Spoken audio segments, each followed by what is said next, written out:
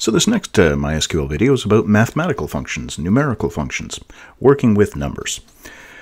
Very similar to what we did with string functions, there is a long list of possible functions that you can use when working with numbers. When your columns, the data that you're getting out of the tables is numerical in nature, lots of stuff we can do. So let's take a look at some of the examples. Now, if you've been following along with the series, you've already got the data. If you want some sample data to follow along with me, I've got this code gist. I've got the link in the description so you can download the zip, expand it, take the SQL file, and then import it.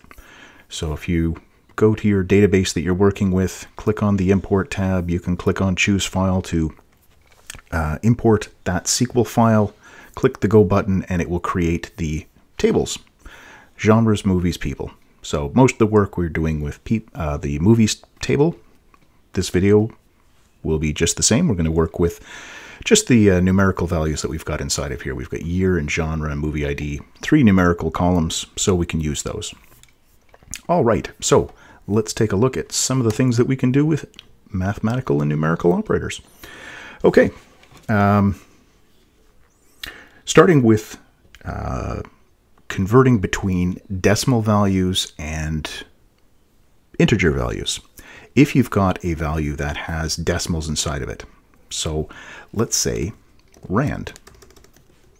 Now, rand, this is going to create a random number between 0 and 1.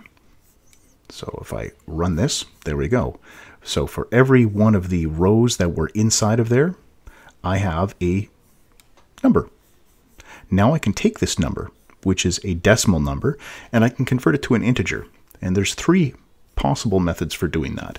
One of them is the round function. So we can put rand inside of round, run that. There we go. And I'm going to get 0 or 1 for each one of them. If you want to always round down, here, let's make this rand times 10. That way I'm going to get a, zero, a value from um, 0 up to 9.9999. So we'll run this again. There we are. Get a little bit more distribution between the numbers. Now, we can, if we want, change this value so that instead of always going up or down, we can say, I always want to round down. That's what the floor method does. It'll take a decimal value and it always rounds down. So here, it doesn't matter if I get 0 or 1 as the result, this is always going to round it down. There we go. So we've got zeros for absolutely everything. If I use the ceil function, this is short for ceiling, it always rounds up. So we've got round for up or down, depending on whether it's greater than or less than 0.5. We've got floor, we've got ceiling to always round down or always round up. Uh, there's methods for degrees and radians if you want to do conversion back and forth between them. So let's say I call the radians function, and I put in the number 90. This is going to give me the number of radians that are in 90 degrees.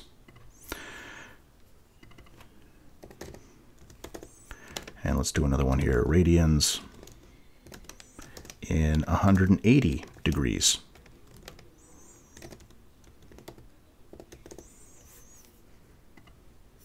There we go. And you'll notice that this is pi. In half a circle, there is pi radians, 3.14 radians. If I did 360, I would get 2 pi as the value. This is half pi. Okay, so we've got radians. There's also degrees. So if I take one of these numbers and I put it inside of here, we run that. There we go. So pi, pi radians converted to degrees gives me 180. 180 degrees converted to radians gives me pi. Simple enough. Okay, so that's uh, degrees, radians, ceiling, floor, round, uh, all the trig functions, sine, cosine, um, tangent, arcsine, arc cosine, arctangent, arctangent 2. So if you've done any work with JavaScript, these are all the same methods that you would have inside of JavaScript.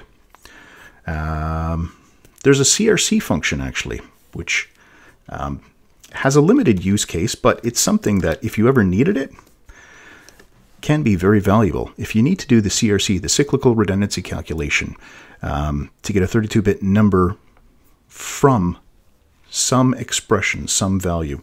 So let's say I take the, um, I will take, concatenate the movie title and the director's name and the genre ID. I'll take those three fields concatenated together, no spaces in between them, and I'm going to do a CRC calculation on those. So let's see what we get back as our CRC value. There we go. So these are the CRC 32 numbers from all the different concatenated values of those. So if you ever need to do this on a HTML file or something like that, you can take the file contents and run the CRC32 calculation on it. There it is. Uh, square root, modulus, absolute uh, value. So the sort of positive value of whether it's positive or negative, you can strip off the sign so you get what's left over, the, the number itself. The uh, There's a power method.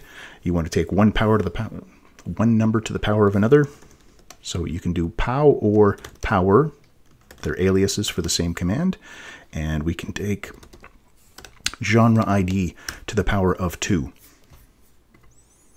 There we go. So for all of them that are 1, it will be 1. For the ones that are 2, it'll be 4. And then 5 to the power of 2 is 25. Those are the only numbers that we have inside there for genre ID 1, 2, and 5. Um, there's a truncating. You can truncate a number to a certain number of decimal places and uh, or conversion. There's a convert method. And with the convert method, so conv or convert, you can use either one. Take your number, so genre ID. Then there's two other arguments. The first one is, what is the base currently? Well, this is a base 10 number, and I want to convert it into a hexadecimal number, so base 16. We'll just call it hex. So there's all my genre IDs in hexadecimal and they are all going to be the same because that's really not going to make a difference with those. Um, here, we'll do, a, we'll edit this in line. We'll do it to a binary. There we go. So 1, 2, and 5 is 101. There we go. So simple, easy function to use for converting between different bases. Um, and there's others as well. Um, if you need any sort of mathematical uh, numerical operator or function, uh, MySQL has the standard set that you would get in most programming languages. So I encourage you to go take a minute and uh, run through those, see if there's any that you uh, are unfamiliar with, and you may just come across with um, come across a situ situation where that is of value to you in what you're doing. All right, I will leave the links to this page. I will leave the link to the SQL file for you in the description. If you have any questions, feel free to leave them in the comments down below. And as always, thanks for watching.